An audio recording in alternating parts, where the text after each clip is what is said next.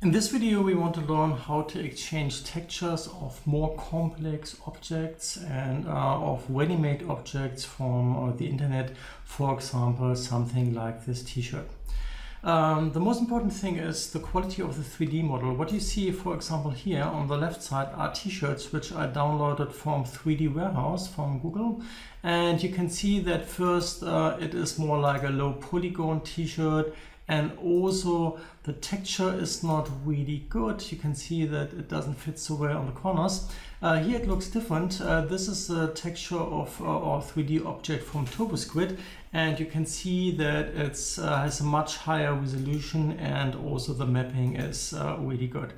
Okay, on the left side you see what it looked like before. On the right side you can see how I changed the texture to something like a football t-shirt.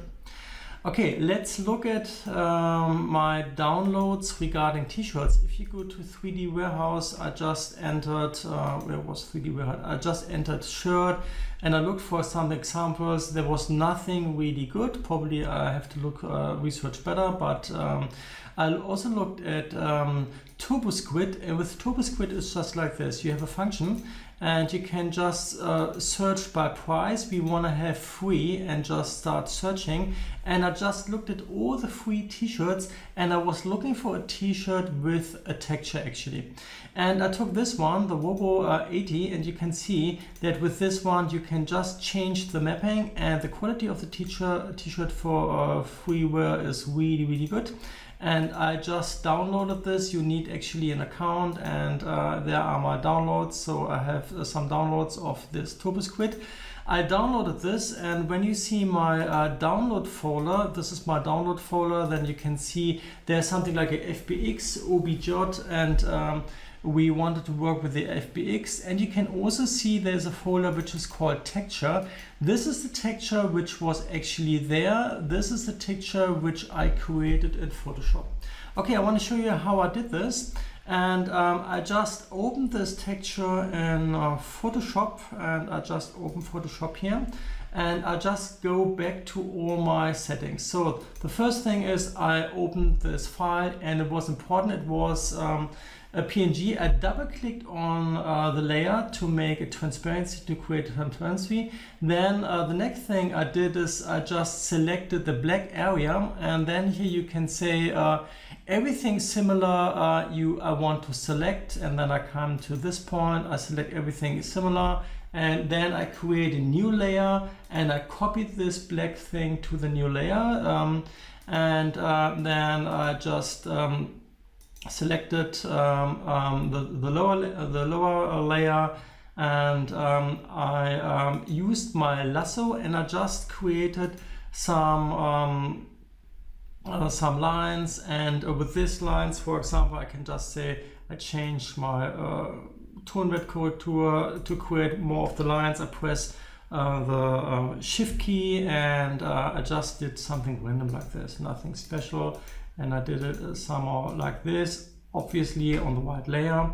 And I also did it on the other side and uh, somehow like this.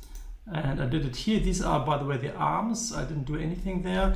And then you can do anything. You can change the color with whatever kind of tool you can do use whatever Farbton that you're going, doesn't matter. A lot of options. So I did it on the right side, I did it on the left side, on the back side. Then I researched on the internet for a logo of um, FC Barcelona. Here again, I double click on this to create a transparency options layer and then I just take my um, um, magic tool, I select white and um, if, and uh, it didn't happen right now, if you would have uh, selected this area too, then I have to deselect this with my uh, Alt key, but this looked good. I delete it and then I say string A, string copy, and I copy it into my file. It's much too big, obviously, and I just uh, scale it uh, somehow like this, and then um, finished. And then I save it again as a PNG because it was a PNG before. I just go here and uh, save it as where is my PNG like this and I just call it 0.2 and we see the back is not uh, uh, doesn't have my stripes so uh, let's have a look okay uh, I'm back and I'm not back. Uh, I want to be back in Rhino and I'll just show you what I did. Um, first of all, regarding my um, SketchUp models, small thing. Um, no, I first want to um, uh, take my SketchUp model. I go into SketchUp and this was my shirt and um, whatever. Here are my, my shirts. And what was important, by the way, I forgot to show you uh, if you go to import, um, I think it's important, oh, it takes a while, does it take so long? Okay, it's important to have embed textures and use the SketchUp text writer, otherwise I think you can't see this. And uh, if you see um, my 3D objects, which are not so nice, you can just click on these uh, textures, for example, like this. And this is for the diffuse uh, color uh, my texture and you can just click on this and um, no it's not like this I go up again and um, here's this little field and you can just click on this and you can open it you can just um, uh, sorry uh, you can open it something load something new I wanted to show you something else Okay, um, again, I found it again. Sorry, it took, took me a second to find my uh, settings. So I go again into this one and I uh, go one hierarchy lower.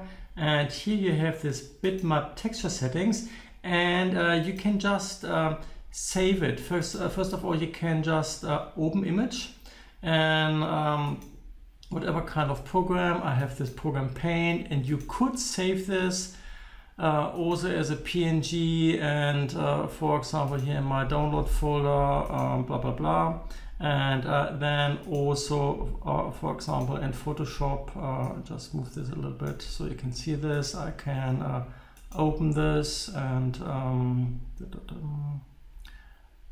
interesting. And um, Okay, uh, here we go, and uh, then I can, for example, take the logo and just uh, copy it uh, into this one, and I just can uh, scale it a little bit, like like this. Oh, this is a stupid work. Can do it definitely better. Doesn't matter.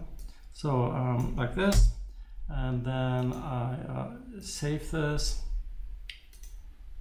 again as uh, PN, PNG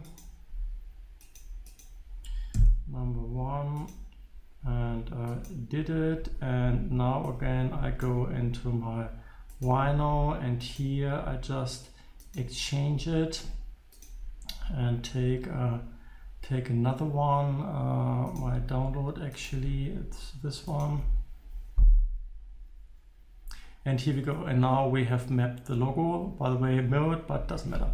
Okay, and uh, I will show you one more time how to do it with this TurboSquid. I import my uh, t-shirt file as, uh, as an FBX. And I just go into uh, Motion, FBX, t-shirt man. All the settings uh, can stay. Uh, I just, I don't want to scale it now. Here is my object. It doesn't have a texture or it has a texture, it has a white texture. But what you could do, a lot of options you can do. Uh, you can just go um, take one of these. By the way, I just take a new one, custom file.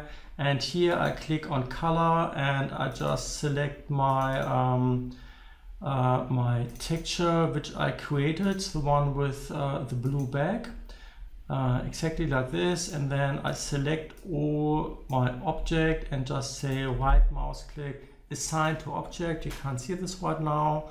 And um, just wait a second and here we go. It's now the other texture on the back uh, blue and on the top it has my little uh, um, my little swipes. Thanks for watching